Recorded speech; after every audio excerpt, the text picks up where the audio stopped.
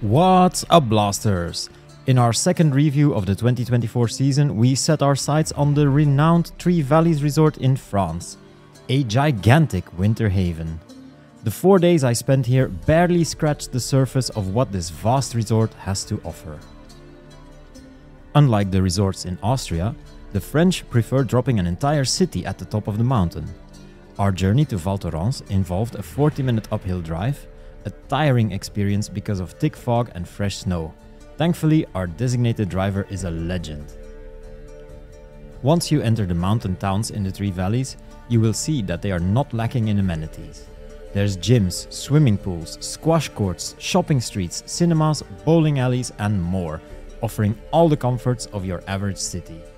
There's even a small airfield right next to the slopes. While the continuous snowfall created challenging weather conditions, obscuring some of the highlights, I'm eager to share my experiences with you all. Let's get right into it. Diving into the heart of the review, let's talk about the slopes. With a staggering 600 km of runs, sprawled across all three of the valleys, it's no exaggeration to claim the title of the world's largest resort. Despite suboptimal conditions due to the heavy snowfall, the slopes showcased above average quality on good days. I was especially impressed by how little the slopes degraded by the afternoon. An army of groomers works tirelessly every evening and night to create these conditions, although the sheer expanse of terrain meant not every slope received daily attention. The resort's official app introduced an innovative twist with its augmented reality challenges, offering a unique way to explore and earn rewards. Link in the description below. Planning my own tour to maximize exploration, I was amazed at the sheer volume of points of interest on the map. Navigating it all in 4 days, let alone one, is a challenge. Stay tuned until the end of the video where I will share the route I prepared to see as much as possible in a single day. I'd also like to single out the Cime Caron Peak and the Orelle site as a lesser known area, but it's truly great. A lot of locals actually refer to it as the Fourth Valley. If the post-fresh snow preparations had been better, Les Trois Vallées could have easily earned a 9 out of 10 Blasties score for the slopes. But because it wasn't, they'll have to settle for a still commendable 8 Blasties. To get around these expansive valleys, the resort has 158 lifts in operation. But here's where Les Trois Vallées reveals their biggest downside. A significant portion of the lifts leans towards the outdated, charmingly antique in some cases, but just plain old in others.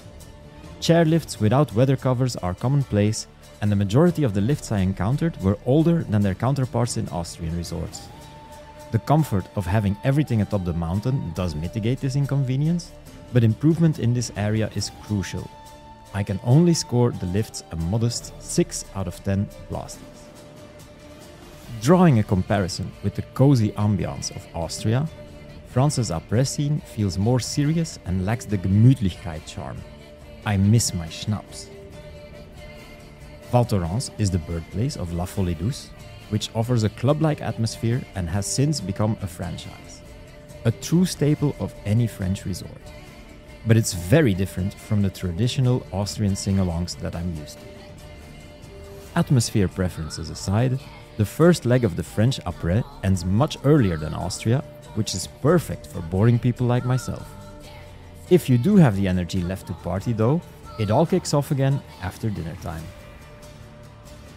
On the culinary front, Les Trois Vallées offers French staples like raclette and many culinary delights. The most unique one I saw being a lobster and steak restaurant on the mountain in Val Thorens. The wine flows generously, but my personal preference does lean towards Austrian cuisine.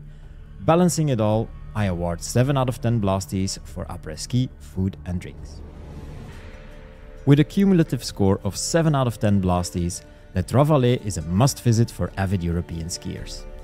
Despite some areas for improvement, the sheer size, diverse terrain and unique experiences make it a destination worth exploring at least once in your skiing life. Share your thoughts on Le Trois Vallées in the comments below, and if you enjoy the content, consider subscribing to the channel. Your support means the world to me. I'll end the video with the route I crafted to conquer as much of the resort as possible in a single day. Feel free to suggest any improvements. Happy skiing, and until next time, keep blasting through the slopes.